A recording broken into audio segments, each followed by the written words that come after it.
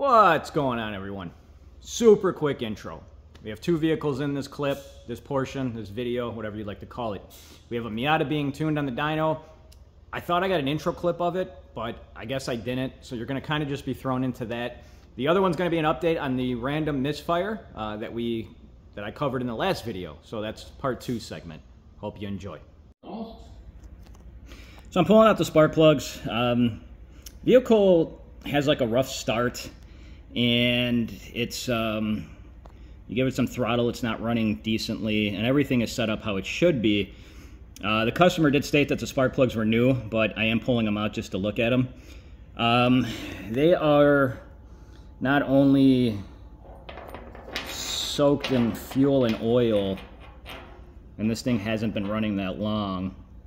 Um, what is really weird I don't know if I've ever seen this and the car's been inside but this spark plug, if you look where it's sitting too, it's it's dripping like wet. And and the car's been running inside. The it, it hasn't gone outside since it's been running.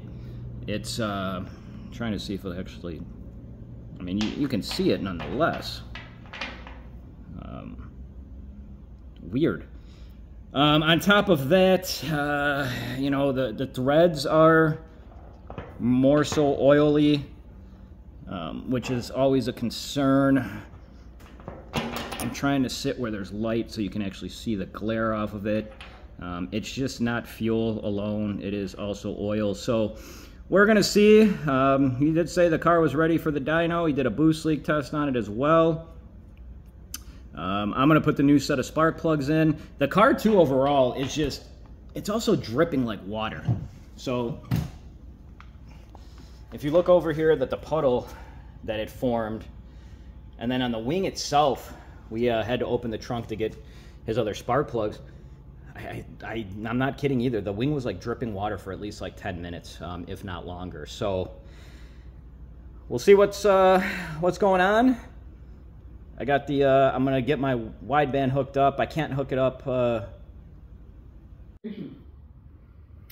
what I was going to say is I'm going to hook my wideband here. Now this sensor is, it looks like a wideband sensor that he had possibly tied into the computer. Um, if we were able to retain closed loop, it would be nice in a sense, but he has one other spot for an O2 sensor down below, and when I took it out to put my sensor in, the hole's not big enough. Um, I think the one down below is kind of like a narrowband sensor. I, I, think, I don't know, but the, the tip the tip on a wideband's a lot fatter, so it won't fit. So I'm gonna hook mine directly right up to here. I don't want it coming out the exhaust in this one. Uh, he's got a lot of welds, he's got a couple clamps in the exhaust, so I wanna make sure we're not getting any leaks. Um, let's see what's going on. So the vehicle is now heat soaked and it will not restart. And at this point of the tune and where I'm at, it should fire right back up. Uh, I did notice that there's some kind of JB Weld or some type of epoxy, I should have said, on that intake manifold weld. So that's not reassuring. Um, that shouldn't be causing the no start though. Um, I have noticed too, when the key is in the on position, engine off, the throttle body just freaks out. It's like opening and closing super quickly, so I don't know what's going on in that aspect. Um, it is being tuned on too, I don't think I mentioned, uh, Motorsports Electronics. Uh, I've tuned this car prior. Um, I don't know. Uh, I will also say that it is hitting boost cut almost instantly. And there's a big difference between when a car is boost creeping in a sense and it takes a second to maybe hit the boost cut that I have set. Uh, this one's happening so quickly. Um, I noticed that his boost solenoid is not hooked up the conventional way for an external wastegate. Let me walk over there and show you really, really quickly. So normally if you have an internal wastegate, this is how it's ran. Um, I'm not saying this can't work. I'm just basically saying this is not the conventional way. I don't know if it's causing an issue. I have personally not seen an external wastegate hooked up this way and he has the one hose going to the turbo and then the other one's going to the side of the wastegate which you're not going to be able to see um, maybe be able to see down here it car is still hot, so I'm not trying to burn myself or melt my phone. I don't know. I don't know if that's what's going on either. Um, I'm going to let the car cool down, see if it wants to fire back up, and then I'll be back. I'll also add during the whole tuning process, and I'll try to get a clip after this that will show the smoking. The vehicle smokes a good amount. It's um, to a point where it's almost hard to breathe when you're on the side of the dyno. Um, I don't think you can really, you can't really pick it up right now because um, it's picking up the light more so. Um, I'll see if I can get into video. Definitely not good though. You have to remember the oxygen sensor, it, it's, the, it's going through the oxygen sensor. So if it's smoking a fair amount, we could get wrong readings as well. Um, on top of, you know, it's going to want to ruin my oxygen sensor as well on the dyno uh, quicker than normal. So uh, it is what it is. Um, I, I don't know what to say.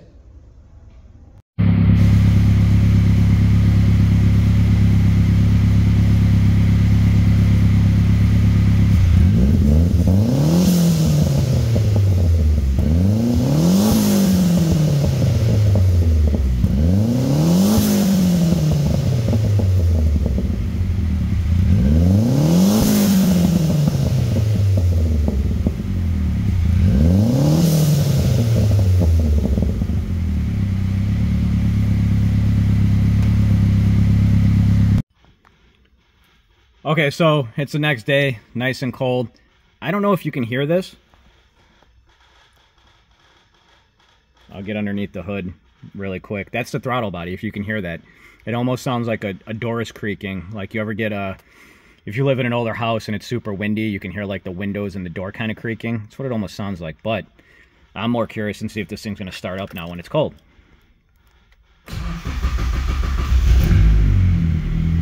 So starts up fairly decently when it's cold.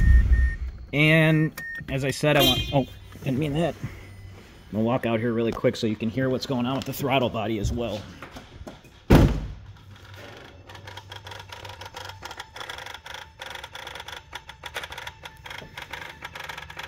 So, um, let me turn the key off, get a little update here. Okay, so I spoke to, I, I think it's the, the owner of the Miata. I don't know though because we're dealing with like two different people here. Um, and the car was here previously, you know, so we were talking back and forth.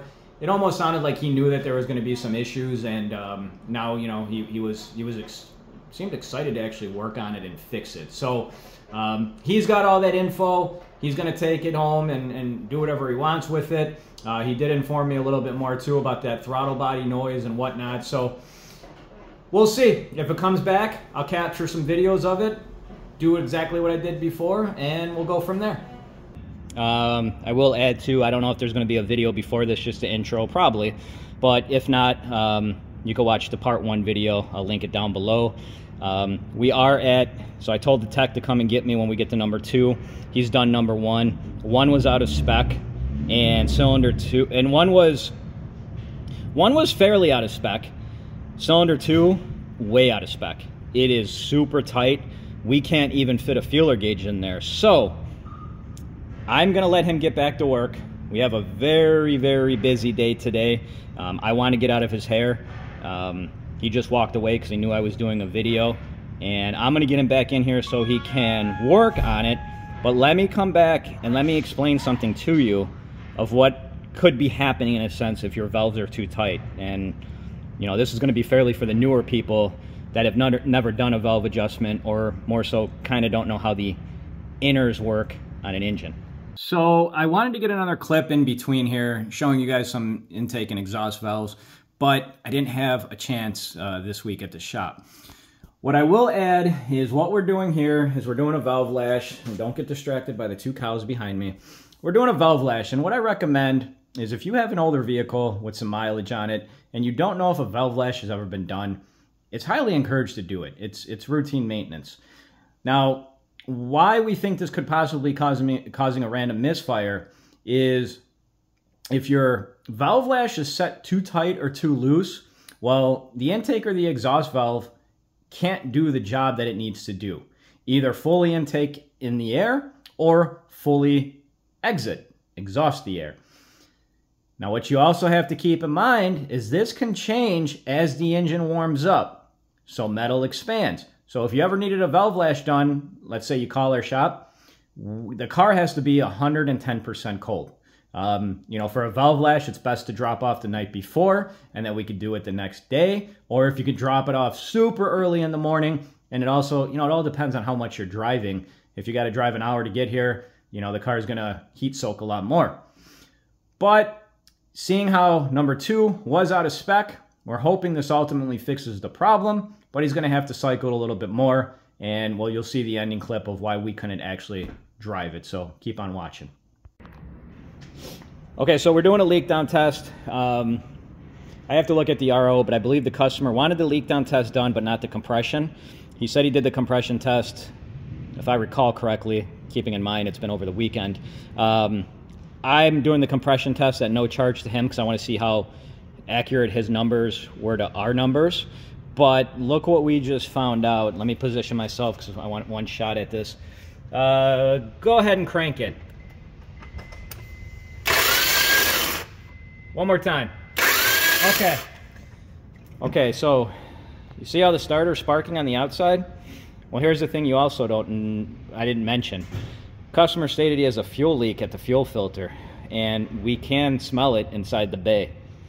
We're gonna pretty much stop and put all hold, hold on this right now because the last thing we need is cranking it and having that spark light up this car. I forgot to get the info before I got on video, but on top of the clutch issue that he had, making it almost undrivable, we did not fix the fuel leak. He did not want that taken care of. So in that case, for obvious reasons, we're not going to test drive your vehicle with a fuel leak. Um, on top of that, the leak down numbers, cylinder one and two, if I recall off the top of my head correctly, one and two were, uh, they had a little leakage. Three and four had moderate. So, you know, as I was saying in the video, we're thinking it was cylinder number two because of that check engine light that we saw. We're hoping that the valve lash fixed it. If it doesn't and the check engine light comes back on, then we're going to give him the next probable cause that we think it could be. We start with that, we give him a price, and we go from there. So that's just a little update. I don't have much more after that. Um, what you saw in the clips is what I took. I found those to be the most important in a sense, and you know, that's it. So, as I always say, thanks for liking. Please share. It helps. Comment down below. And if you want to see me cover something specific, let me know as well.